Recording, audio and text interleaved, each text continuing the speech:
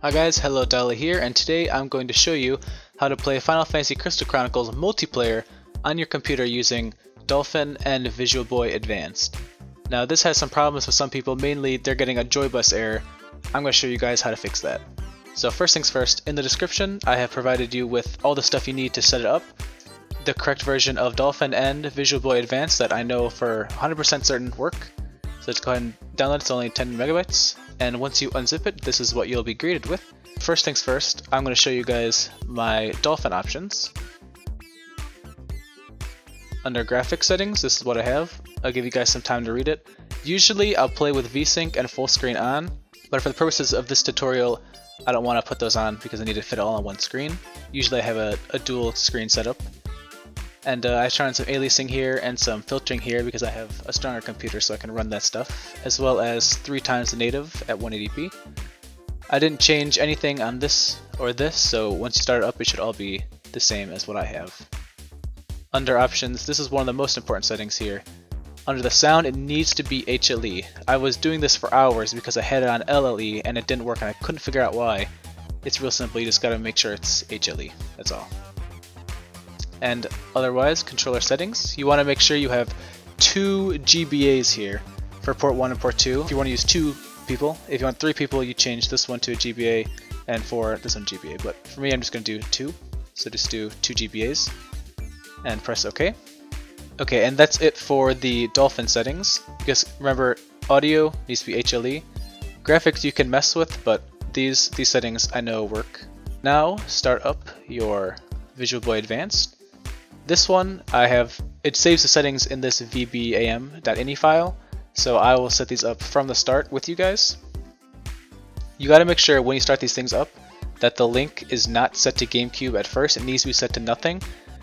And once you come into it, then you can change it to GameCube. But once you start it, you want to make sure it's set to nothing, or else it'll give you a Joybus error and then you won't be able to play the game. So the first thing you should set up is your controllers. I have I have one Xbox One controller and one Xbox 360 controller. Just show you that any type of controller works. Just type in here. Uh, let's press clear here. Up and so up, just press up, down, left, right, you know, and so on and so forth. And that is my first controller. And the second controller, you go to player two and do the same thing. Okay. And you see down here uses default. I just keep it as player 1 for now, we'll, we will change that later. So what you want to do, you can keep the audio settings, the video settings, those are all fine. Under Game Boy Advanced, you want to go to Use BIOS file, check that, and as well as Configure, and this is where you'll want to use that BIOS file that I gave you, press Browse, and there it is right there, just click it, open, okay. And you'll also want to go to Link, Local Mode, Link, link at boot. So you want these two settings to be checked. And this one, make sure, again, stays at nothing until you boot the next one up. That should be everything for here, and you want to go to emulation and uncheck pause when inactive. So those are all the defaults now. And if you do another one, it should load up with those exact settings. Bring it down here.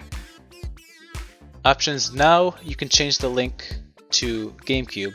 You're going to have to change it back to nothing and back to GameCube every time you want to play and uh, go to configure. This will be my player one. So I'm going to keep this use as default, but this one I'm going to make player two. So I'm going to change the use as default. I'll put on my screen, there it is. I'm going to change this to use as default on this one. So this is player two and use as default, the other was player one and use as default. So press OK. And this is, everything is pretty much set up here. So what we can do is we can start Crystal Chronicles. So you want to go to File, Open, and you'll want to choose the same BIOS file that I gave you. See, it's very important that the Nintendo logo pops up. If it doesn't pop up, then you did something wrong. But it might take a while, as you just saw there.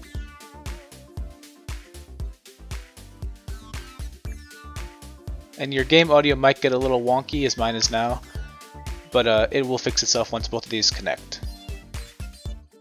So what we just gotta do is we gotta wait until these start. This one started, and it's, red and blue. So that's this is player 2 and this is player 1. So I'll show you guys how to switch that. Okay, so you can see this one started up as player 2 because it has the red, so that means it's player 2. But I don't want that, so we're to go to input, configure, and we're to change this to player 2. We're to play use as default. Okay, options. This one we're also to have to change as well, obviously. So since this one's player 2, we'll change this to player 1. Press OK. And now, player 1's controller works. So we'll press load, multiplayer. And then if you haven't played the game before, it'll say that your memory card's corrupted. You can just reformat it and it'll create a file for you on your computer. Now this is my save. Don't uh, don't even worry about the names here. Now sometimes what your game will do is you'll only be able to move the second controller if you have a certain screen selected. So you can see with this I can't move the first player's controller, but if I select this screen, then I can.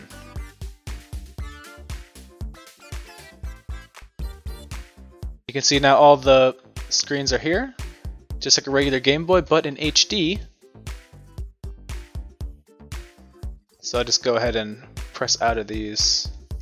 You see, I was trying to I was trying to use the command list there, but I didn't have this screen selected, so it didn't let me.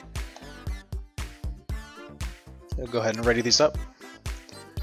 Now, you can see it's really stuttering here, and that's a problem. You can't really play the game when it's stuttering. And even worse, if you try to focus, it doesn't let you focus. You just keep attacking over and over again. Now, the way to fix this is really easy. It's kind of annoying, but it's you're just gonna have to do it if you want to play without that stuttering. You need to go to your map, and you need to select away from it. That's all you gotta do.